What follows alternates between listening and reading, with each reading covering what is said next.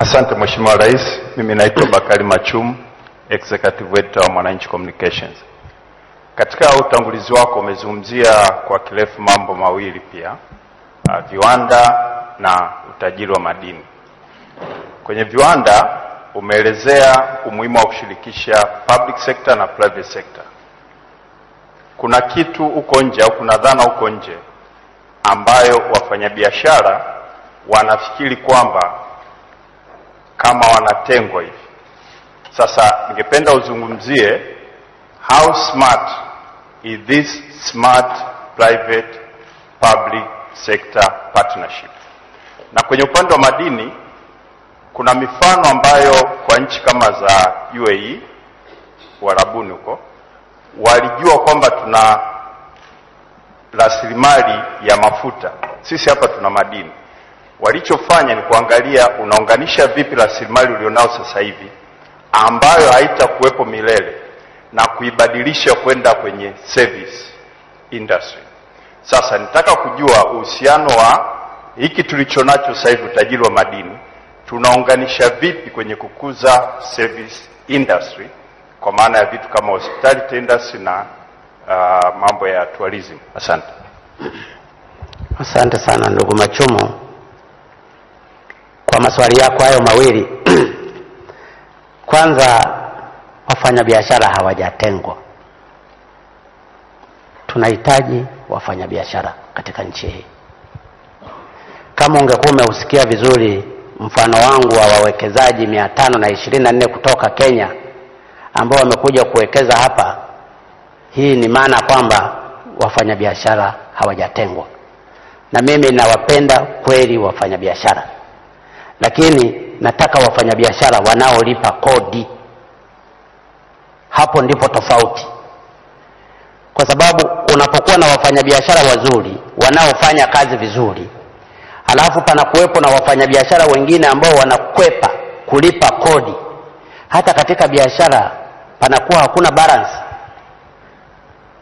Wewe umeleta vitu vyako unalipa kodi, halafu mwingine ameleta vitu vyake amekwepa kodi. Mtakapoingia kwenye biashara, kwa vyovyote wewe uliyelipa kodi utaumia kuliko huyo ambaye amekwepa kodi. Wewe mwenyewe unafahamu Machumu, palikuwa na watu hapa wanaleta bidhaa hawalipi kodi bandarini, na ukitaka kupitisha mzigo wako lazima watumie hao, na wanatoa bidhaa zao bila kulipa kodi. Lakini palikuwepo na wafanyabiashara wengine waliokuwa wanalipa kodi. Sasa ukishakuwa na wafanyabiashara wa aina mbili ya aina hiyo, unamuumiza mfanyabiashara anayelipa kodi. Lakini pia palikuwepo na wafanyabiashara wengine ambao wame, kwa ujanja ujanja wao hawalipi kodi na bado serikali inawalipia ile 18% ya VAT. Palikuwa na mambo ya ovyo. Sasa sitaki niende kwenye details sana, kwa sababu mambo mengine yako mahakamani. Ninachotaka mimi ni biashara ambayo iko balanced. Anayetakiwa kulipa kodi alipe kodi na atengeneze business, atengeneze profit, hata kama yuko after profit maximization, na hicho ndicho nachokitaka. Wafanyabiashara matapeli siwapendi, kwa sababu wanaingizia hasara serikali, lakini wanawaumiza wafanyabiashara walio wengi ambao ni wazuri. Kuhusu madini, nchi yetu ni kweli na madini mengi, na pamekuwepo na ujanja ujanja pia kwenye madini, na mengine mmesikika nimekizungumza hadharani. Madini haya tuliyopewa na Mungu yanatakiwa yainufaishe nchi hii, kwa sababu siku moja ni kweli madini yataisha na ndiyo maana kulingana na sera ya madini pamoja na sheria na juzi juzi tumesaini regulations za sheria ya madini, nina uhakika sasa mambo yataanza kwenda vizuri, na ndiyo maana katika mpango ule wa kupitisha lile bomba la kutoka Hoima kwenda Tanga ambao lilipigiwa kelele sana la kilomita elfu moja na mia nne ishirini na tatu na bahati nzuri hili swala sasa limeenda vizuri. Sisi Tanzania tuna traces za mafuta pia, southern part ya Lake Eyasi pamoja na ziwa Tanganyika pamoja na DRC nao wana mafuta kule.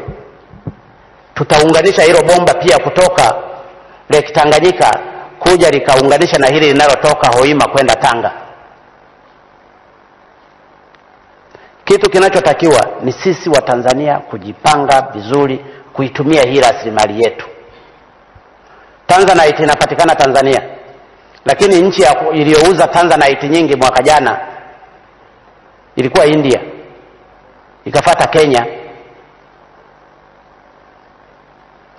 Na Tanzanite ni dini linalopatikana Tanzania tu. Ndio maana saa nyingine nilikuwa nasema sisi wa Tanzania tume, tumelaniwa na nini?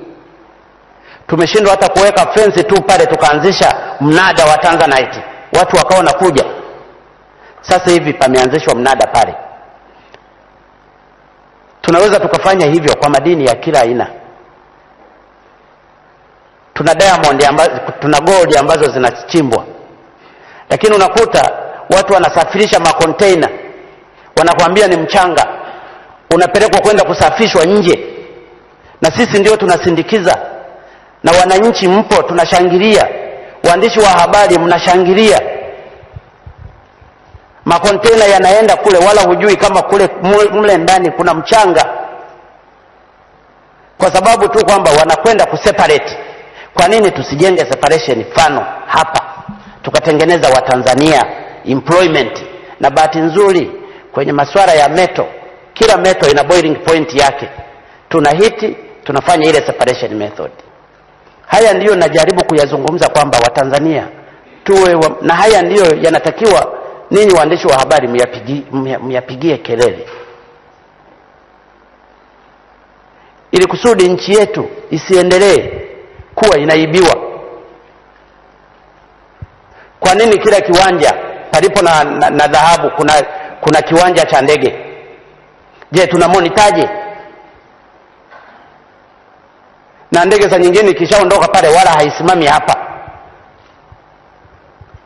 Haya, kama sisi wa Tanzania tunatakiwa tusimame imara kwa umoja wetu. Hili sio swala la rais tu. Rais aweza akaona Kahama, akaona Nyamongo, akaona Tanzanite. Sisi wote wa Tanzania ni lazima tujali utanzania wetu, tujue hii ni rasilimali yetu, ili fedha zinazopatikana hizi ziwanufaishe Watanzania wote bila kujali dini zetu, makabila yetu, vyama vyetu na kadhalika, kwa sababu lengo ni kuhakikisha tunalenga kwa ajili ya maendeleo. Kwa hiyo ninachosema, you are right kwamba tunatakiwa sasa to move forward na kuziangalia vizuri sheria zetu, ili haya hizi rasilimali tunazozipata nchi kama nchi tuweze kufaidika nazo. Sifahamu kama nimekujibu vizuri ndugu Machumu. Bila, bila shaka majibu, majibu ni mazuri. Mheshimiwa Rais, tunakushukuru sana. Tumefikia katikati ya mahojiano yetu. Uh, ndugu waandishi wa habari na wahariri, tupate mapumziko kidogo kama ya dakika Wewe waache tu waulize maswali. Mimi leo, leo nataka